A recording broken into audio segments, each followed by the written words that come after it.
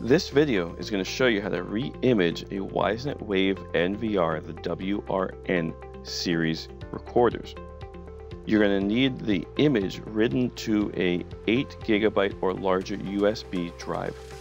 That drive should be plugged into the blue USB 3.0 port on the back of the WRN unit. You'll also need a USB keyboard plugged into one of the USB ports and a monitor connected to view the system. From there, you're going to power the unit up and you're going to repeatedly press the F5 key on the keyboard until you get this boot screen. Then select whichever option says USB, HDD, or hard drive. The name of your flash drive will vary. When you get to this grub boot screen here for Clonezilla, just select the first option, push enter on the keyboard. As it continues to boot, you'll see some messages on the screen. There may be a couple error messages.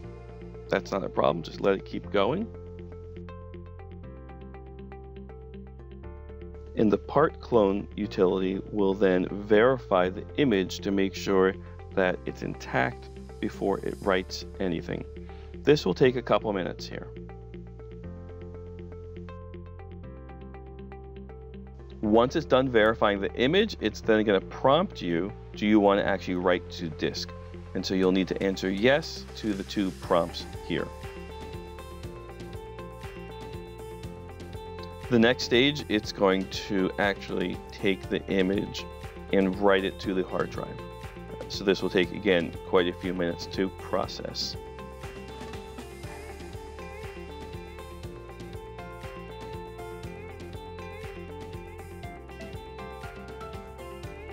Once everything is done, it'll clean things up and you will then get a screen to power off the unit. Choose the power off option. Once it's powered off, you can unplug your USB drives and then boot it up normally. To learn more about this and other exciting Hanwha products, subscribe to our YouTube channel or visit us at hanwhasecurity.com.